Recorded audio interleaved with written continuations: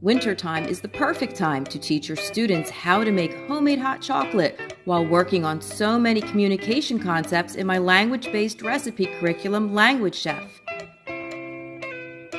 First, we reviewed the recipe steps and we identified the different measurements on our measuring spoons.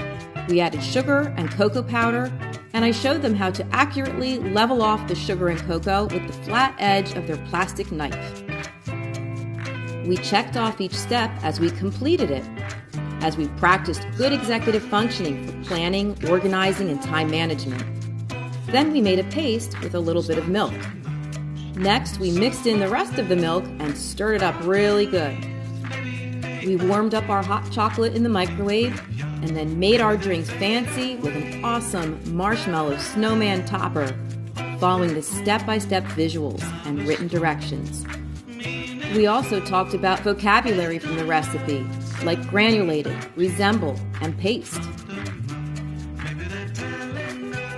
We set our snowmen in the warm hot chocolate and then enjoyed the simple and delicious homemade treat. When we were done, we cut out the pictures from the recipe and sequenced the steps on the grid template and verbally recalled the details of the recipe. I have tons of other language activities in my recipe curriculum, Language Chef. It's in my Teachers Pay Teachers store speech.